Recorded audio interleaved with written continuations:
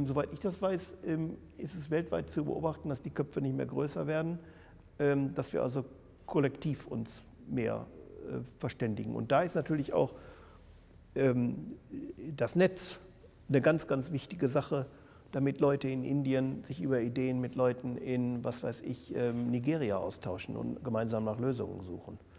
Und dann muss man das nicht mehr alles selber im Kopf haben, sondern man kann eine Gemeinschaft ansprechen und gemeinsam Lösungen finden. Und da glaube ich, ist, ähm, ist das, das Web eine ganz, ganz wichtige Sache. Das Web hat aber auch Probleme, weil der CO2-Ausstoß, der dadurch verursacht wird, dass wir unsere Informationen ständig austauschen können, steigt ja disproportional zu anderen Bereichen in der Gesellschaft. Also 2007 war es bereits so, habe ich verstanden, dass ähm, Flugverkehr genauso viel CO2 verursacht hat wie Bereitstellung von Informationen und Smartphones aber dass das Wachstum des CO2-Ausstoßes für die Bereithaltung von Informationen, für die Produktion dieser Geräte und so weiter und so fort ähm, vierfach schneller wuchs als CO2-Ausstoß durch Flugverkehr. Das heißt, heute müsste das eigentlich schon ähm, verdoppelt oder sonst was sein. Das heißt, wenn wir alle sagen, wir wollen die Umwelt retten und fliegen deswegen weniger,